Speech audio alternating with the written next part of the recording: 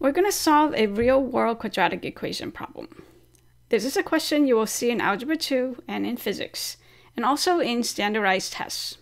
A ball is thrown into the air, and its height in feet after t seconds is given by the equation h of t is equal to negative 16t squared plus 32t plus 5.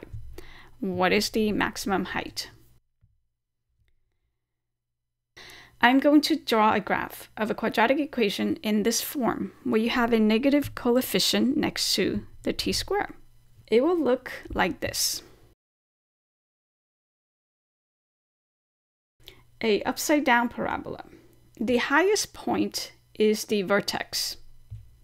And here is where we have the t, and h of t is going to be our maximum height.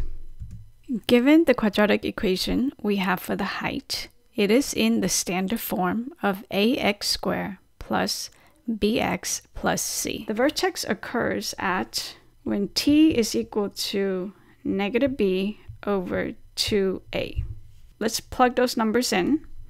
We get t is equal to negative b, which is 32, divided by 2 times negative 16 negative 32 over negative 32, and that's just equal to 1.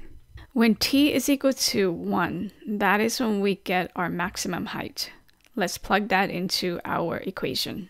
So h, when t is equal to 1, it's equal to negative 16 times 1 squared plus 32 times 1 plus 5.